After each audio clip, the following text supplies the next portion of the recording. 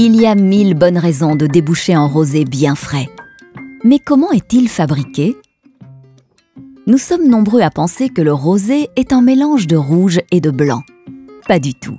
La couleur du vin rosé a la même origine que celle du vin rouge, la peau du raisin noir.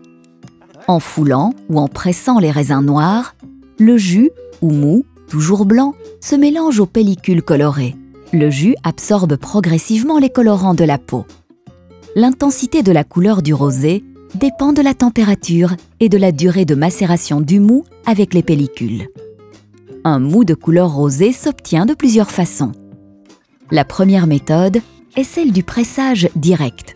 Les raisins sont pressés immédiatement après les vendanges. Le mou demeure en contact avec les pellicules. Celles-ci, par macération, donnent leur couleur au mou. La seconde méthode, la saignée, consiste en un trempage bref. Le mou des raisins noirs est déversé dans la cuve de fermentation. Comme il a déjà été brièvement en contact avec les pellicules, il en a pris la couleur et les arômes.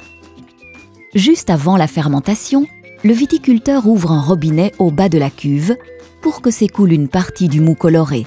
Il en fait ainsi du vin rosé.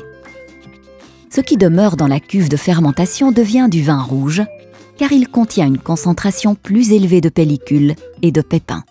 Si ces méthodes fournissent du mou rose, ce n'est pas encore du vin. Le jus trouble doit décanter de 12 à 24 heures afin d'extraire les particules plus lourdes.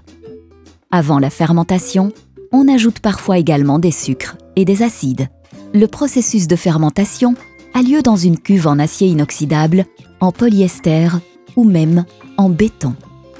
Une fois la fermentation terminée, le vin est pompé vers un réservoir de stockage. Il y repose quelque temps pour se stabiliser.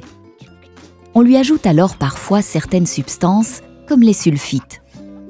Ensuite, le vin est filtré pour en éliminer toutes les impuretés. Puis, il est immédiatement mis en bouteille. Le vin rosé se boit généralement jeune. Il est donc prêt à la dégustation lorsqu'il arrive sur les étagères chez Deleuze. À votre santé!